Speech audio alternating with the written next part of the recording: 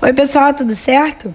Voltamos para mais uma aula de fonte de energia e hoje, especificamente, nós vamos falar sobre as fontes de energia renováveis, que são aquelas que basicamente têm sua matéria-prima de geração de energia infinita, tá certo?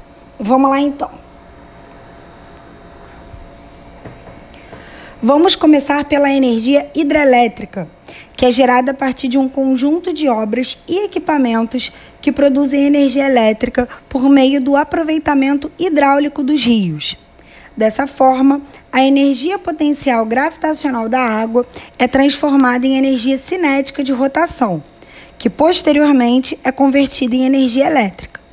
Isso significa que, a partir das hidrelétricas, a eletricidade é produzida, em linhas gerais, por meio da movimentação e da queda da água dos rios. Portanto, galera, os rios que têm desnível acentuado em seu percurso, os chamados rios de planalto, tendem a apresentar potencial hidrelétrico aproveitável. Vale ressaltar que não é necessária a ocorrência de quedas d'água, mas de desníveis que possibilitem apenas a construção de uma barragem que forme uma represa e crie uma queda artificial para que a energia seja produzida.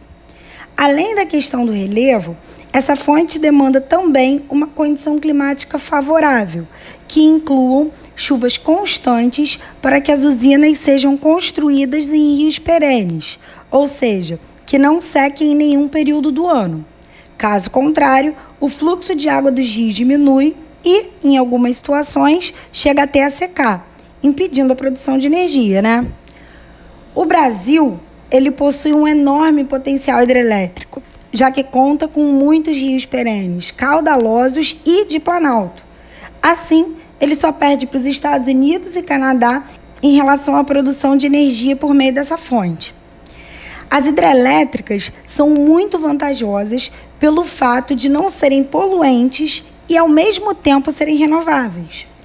Todavia, apesar dos benefícios, sua construção carrega consigo uma série de impactos ambientais e sociais. Em relação a esses impactos, podemos destacar a inundação de enormes superfícies para a construção de represas, fato que acaba demandando desmatamento em áreas de floresta e perda de biodiversidade devido à destruição do habitat de várias espécies.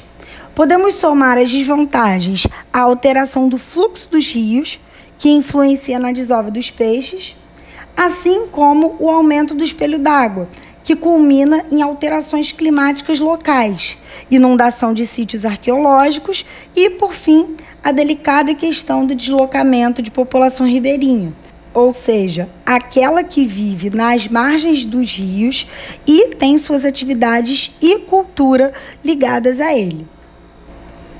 A energia solar, fotovoltaica ou fototérmica é gerada a partir do aproveitamento da radiação solar para o aquecimento dos fluidos. Os equipamentos mais usados para esse tipo de energia são os coletores e concentradores solares.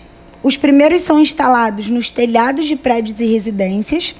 A radiação é absorvida por esses coletores e empregada no aquecimento da água para fins domésticos ou industriais. Os concentradores são aplicados em atividades que requerem temperaturas elevadas, como secagem de grãos e produção a vapor.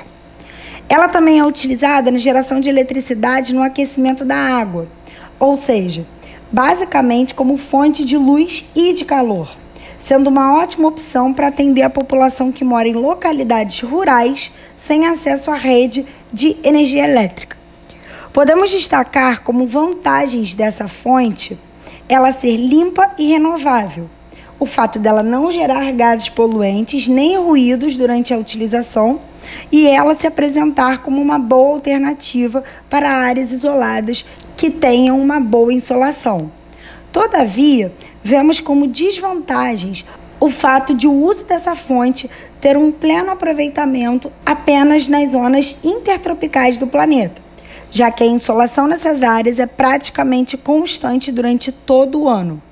Uma outra desvantagem que a gente pode citar aqui é o fato dessa fonte ter um alto custo de implantação. Não é à toa, gente, que ela acaba ficando mais restrita aos países mais ricos.